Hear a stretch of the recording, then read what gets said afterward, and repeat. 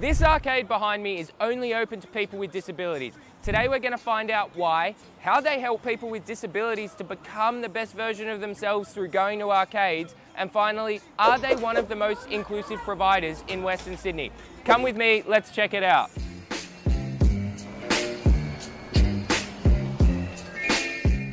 All right, cool. I am joined by Ibrahim from Special Adventure Centre Yes, in yes, Granville. yes. So just before we jump in, do you want to tell everyone a little bit about what this is and what the vision was for, I guess, this place? Mind you, this place before we renovated and all, it was actually a junkyard and we've turned it into this today. Who we are is we're an NDIS provider and an aged care provider. So what we do basically is we bring uh, disabled people of all ages to this centre. Doesn't matter what disability, doesn't matter doesn't matter what age they are. We're more than happy to have them here. Yeah. And we have basically ball pits, as you can see behind me. We've got a projector for that ball pit where they play. We've got a trampoline. Uh, we've got a little classroom here. We've got an air hockey table. Yeah. We've got a pool table. And we've got an arcading section we're about to show you guys. Yeah, awesome. Cool. So before we do, let's have a. look. So with this ball pit, there's a lot. Is it turned on? Can we turn it on? I know you Yeah, showed me a little bit before. on. I don't know how to do this as a how you do this as a kid. The kids like- have more patience than us, mate. The kids have more patience than us. I'll tell you that. Yeah.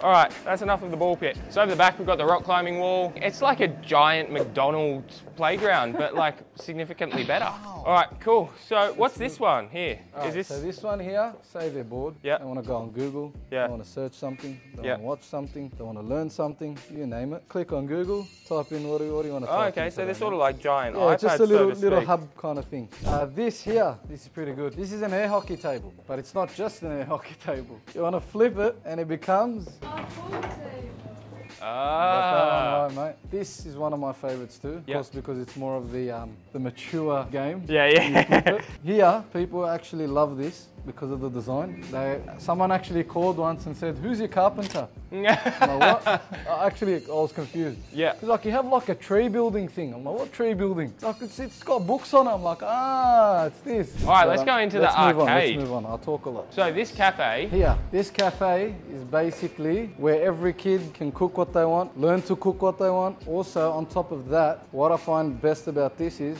when they're finished playing and they're exhausted, they come here, ask for something, we grab it for them, they go to the cinema room, they relax. Cinema room. Yes, the cinema room. Oh, gonna oh, I have to didn't go tell check you it out. My bad. The Stay to the room. end, and you can you can see the cinema room. Let's get to the active stuff, shall Yeah, we? cool. Here, I didn't tell you about it, did I? No. This is a dinosaur. Oh, it moves. with a camera. Here, these are the phone app. I call these the phone app Yeah. arcade arcade games. Yeah. It's, not, what- it's not what they really call it. I call it the phone app arcade games. Why? This is on your phone, that's on your phone, the other one's on your phone. Sometimes I've been actually working, working. My bad. Hope my boss doesn't see this.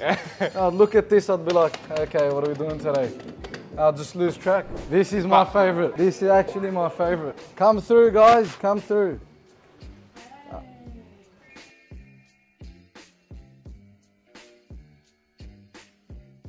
How good There you can go all the way, mate.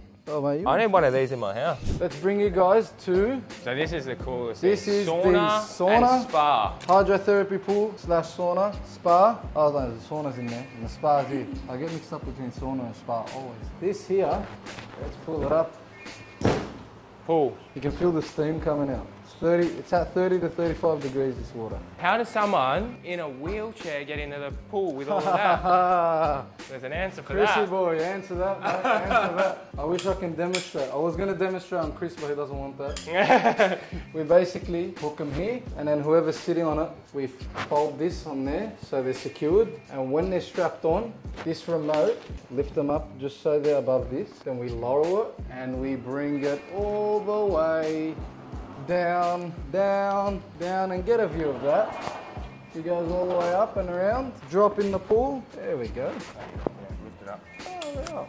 So we strap this on this. This remote you can lift up or down. And when you go around, you can easily, when they're in that strap, drop them in, take the strap off and get them onto a floaty or depends on the disability. So this is the dry sauna and the steam big. sauna. So How do you go with a wheelchair in here though? Like it would fit, Yeah, but would do the batteries not explode on a wheelchair if they got That's a very hot? good question. This is where we bring the hoist.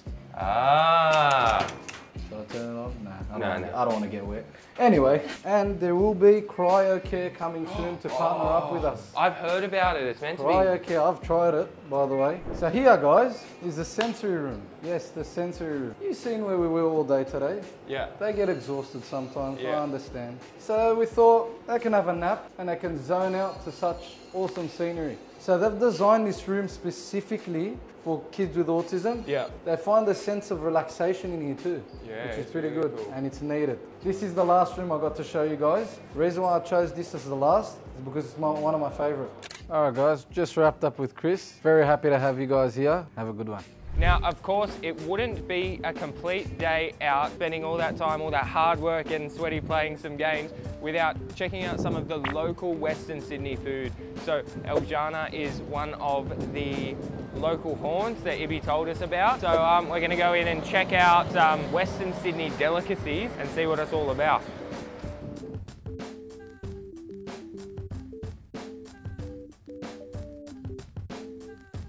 Can I please get the quarter chicken plate? Can I get chip as well, extra chicken salt? And that comes with bread and garlic sauce too, doesn't it? Yeah. Already, yeah, cool. Excellent, thank you. You guys bring that out or we wait? Oh, okay, perfect, thanks. Thank you. This is the this is the best of what Western Sydney has to offer. So after a hard day at the arcade, you've got to try, brother. Look at this. Look how much salt they put on it. Oh, pickles. Oh, you got to try the pickles. Mm. I now see why I recommend them. Fuck, those chips are good. Alright. Mm. Chicken's good. Done. I did it for you guys. That is definitely one of Western Sydney's local favourites. So if you are a person living with a disability or you are a provider or even support coordinator that thinks this would be a good day out for your participants, definitely check it out. Certainly um, El Jannah in Western Sydney too, you have to hit it after